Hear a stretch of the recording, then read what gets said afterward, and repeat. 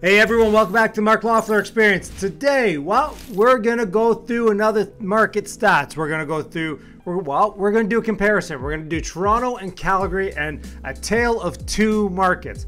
Comment down below what you think is happening in each market before we get into it. And first, and foremost, I just want to thank everybody who came out to our meetup uh, on Tuesday. We had a great time. There was about 60 or 70 of us there. I mean, we had wholesalers, we had uh, Airbnb arbitrage people, we had people who are doing BRRRRs, people buying apartment buildings, people buying cattle ranches, for goodness sake.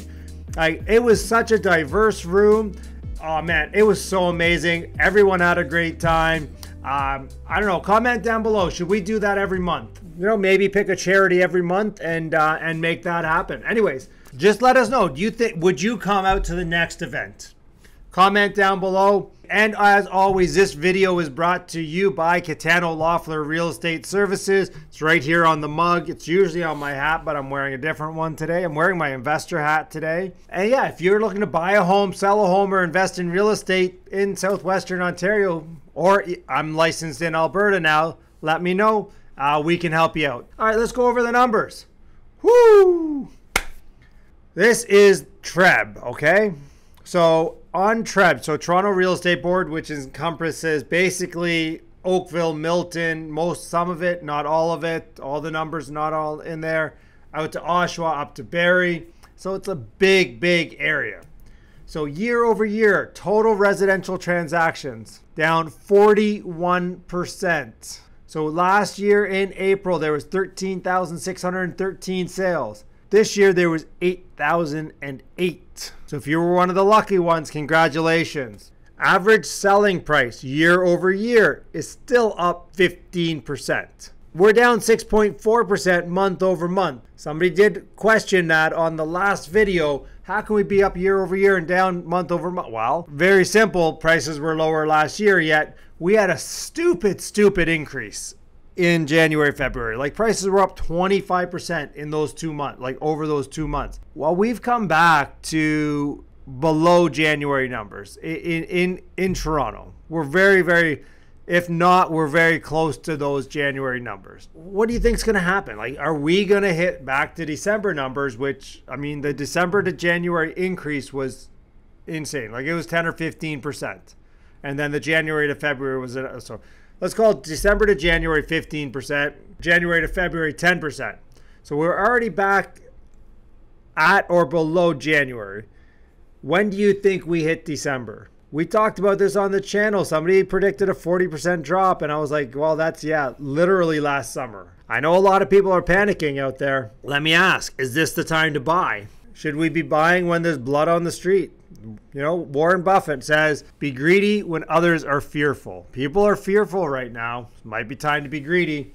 Total new listings. So sales are down 41%, but new listings are only down 11%. So that means there's a lot more unsold homes out there or homes sitting on the market longer. Sales to new listing ratio. So 65% last year. It's 43% now. So what that means is basically four out of 10 homes are selling as they hit the market. That's a significant, significant difference obviously. I mean, you're at six and a half to four. Like that, that's, I mean, 22%, but that is huge. Fewer than half the homes are selling when they hit the market. Now, I think these days on market are a little skewed just simply for the fact that people are putting out there like offer dates and then not getting it and maybe taking it off the market or doing something different, relisting it. So, Treb, if there's anybody on Treb watching this, what I'd really love to see here is that monthly chart like we get on ITSO of the pricing where you're plotting that pr- pricing for us. I mean, I guess I could do that myself, but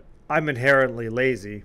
Actually, I do have the numbers right here. So here's the monthly stats. We use the seasonally adjusted number, which is one two five, uh, which is one two zero zero. Uh, monthly stat, they do say it's 1254. So again, look, you can see January was 1242, December was 1157. I mean, we got a lot to fall to get the December numbers. But you can kind of see last year this kind of did the same thing. We plateaued March, April. Now, it obviously it wasn't as violent, but let, us be honest, the price increase wasn't as violent either. Like, but you see like 960 to, to 1044 to, to a million one. You're flo- you're floating around a million one. You come down into August. August, Ju- July, August was the time to buy. Apparently, it's funny. So many of the investors I talked to at this uh, event, they're like, "Oh, fall's the time to buy," and I'm just like, "Well, five people have told me today that fall was the time to buy. That means you're going to be competing with a lot of people." I'm like, "Don't you think June, July, August would be the time to buy? I want to be buying when nobody else is buying.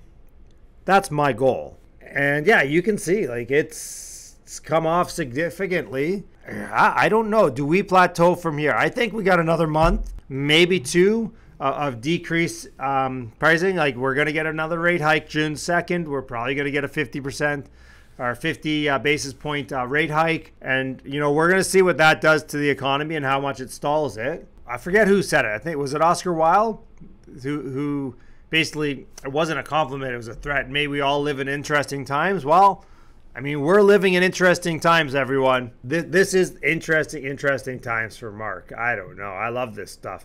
Anyways, so I said we were going to compare. So Toronto is down 15% since the peak. Calgary, sales are up and listings are down. Well, what does that mean? Well, that means people are buying more properties than are listed. That means that their prices are going to go up faster because you know they have higher demand than people than supply. This is all just a supply and demand. By the way, in Ontario, they've done a hell of a job of slowing demand. And I said this many, many times. I felt like that demand was really, really interest rate focused. Uh, so let's see this. So inventory's down 20% year over year. Months of supply down 25%. So there's 1.43 months of supply in Calgary right now.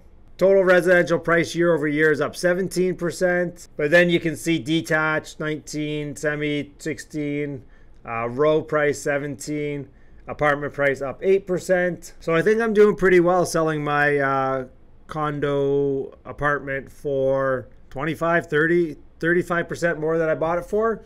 I'm okay with that. But you can see April 2022 Here's the actual sales. So detached are down, everything else is up. So look at that 42% more sales in townhomes, 46% more in condo apartments. And you can see, look, 24% increase in listings, 7% for apartments. And these have lagged the market out there. And you just see this nice graph of where basically it is north, northwest, northeast, uh, center is not doing so well. I mean, they did have a lot of hits with, you know, oil oil leaving, right? And here's the other thing though. They are seeing a sales slowdown. March obviously had higher sales than April. I'm on the fence about buying my new townhome out in Canmore right now. Even though it's for personal use, I think I might get a better deal in two months out there. I mean, I'm going to negotiate. If I get my price, I'm going to buy it right now, I don't feel like paying the builder's price. Um, I, I, think I've made that decision, and um, I, I apologize to uh, to my great realtor out there, but uh, that's probably going to be what has to happen. All right, guys. So let's recap.